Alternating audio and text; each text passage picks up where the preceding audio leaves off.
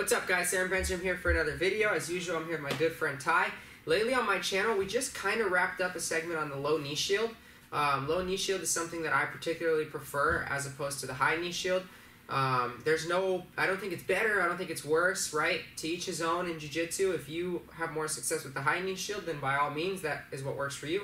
For me, it's been the low knee shield. I made a bunch of videos on it, so I'm going to link those above or in the description. I showed some sweeps, some control, and then I actually had a friend of mine uh, named Giancarlo, who's a Lucas Lepri brown belt and a brown belt world champ, show how he destroys the knee shield, which some people were messaging me about, and they're like, does the knee shield work when you train with a guy like that? I'm always super honest. Like, Giancarlo's much heavier than me. He's a world champ he smashes my knee shield. He's he's super good at passing it. But on guys my weight, I do really well with the low knee shield, and I'm able to hold off almost anybody. It's it's kind of one of the positions where I go to for control. I had a lot of questions about what you do when they do do the leg weave pass or the sandwich pass. It has several different names. I'm not so good with the nomenclature, but it is something that in the low knee shield you do want to be prepared for. So today I wanted to make a very quick video just demonstrating what I do personally when they do the leg weave and the low and the uh, sandwich pass. I don't want this to be like one of those videos where I'm like, oh, well, you just gotta stop it or just don't let them get there because it's something that you encounter and most of the times in my opinion I think that you can stop them from passing from there by having a good clamp and controlling their far leg which I'm going to demonstrate in a second but if you can't stop them I'll also show you an alternative that I do when the guy is maybe much bigger or just much stronger so let's get into it. So, guys, what we're talking about is when we're playing low knee shield, and I don't want to go over all the. Let's move back a little. I don't want to go over all the basics and the control that I've demonstrated in previous videos, so if you want to check out the position and get to know it more, I'll link those in the description or above, like I said. But the position is Ty brings his hand and weaves it over my top leg and controls my bottom leg. I've seen people weave and control here, and I've seen people even weave and try to control the collars or the lapel. In my opinion, I think that this grip is superior, and this is the grip that's more troublesome. So most of the times when I'm playing low knee shield, my knee is shallow, my clamp is very strong, I'm drastically on my side, and my hand is framing because he's kind of trying to come into me, right? So when I see him weave his hand in, one of the first grips that I try to attain is an outside pant grip on the knee. Why? I want to attain this grip to prevent him from sprawling. Most of the time, the goal in order to break my clamp in this position, the sandwich leg weave pass, is for Ty to sprawl back, break my legs, and then walk around. Right? That's that's troublesome. And depending on your dexterity and how tight you can clamp, you might not be able to just stop it with that. Even myself, who plays low knee shield all the time, I can't normally just stop it with that.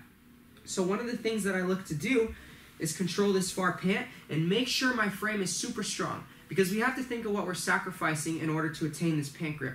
Normally I'm blocking the arm from cross facing and the shoulder so that he can't flatten me out. So when I go here, naturally what can he do? He can cross face me.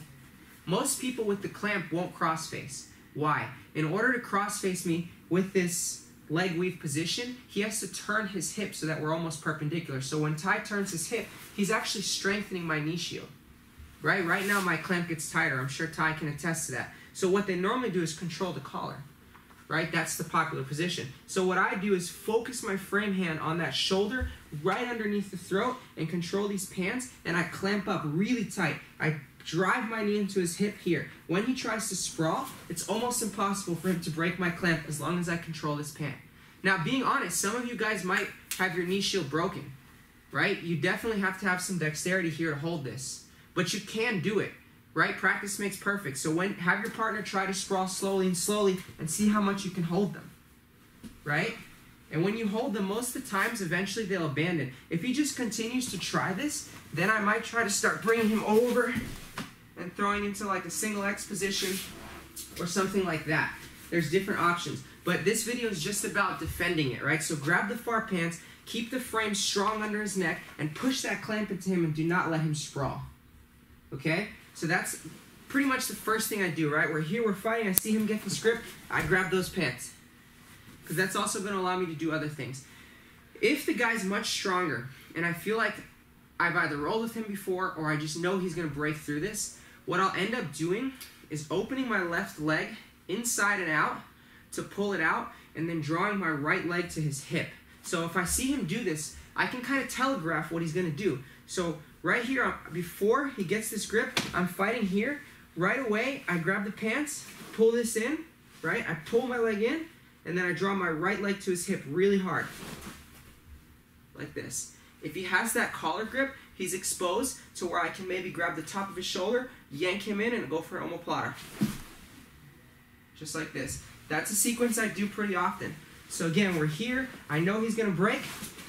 I'm here like this. I just went to feet on the hips, open guard. And then I go for that omoplata. I like to control that shoulder grip because it lets me guide my opponent, right?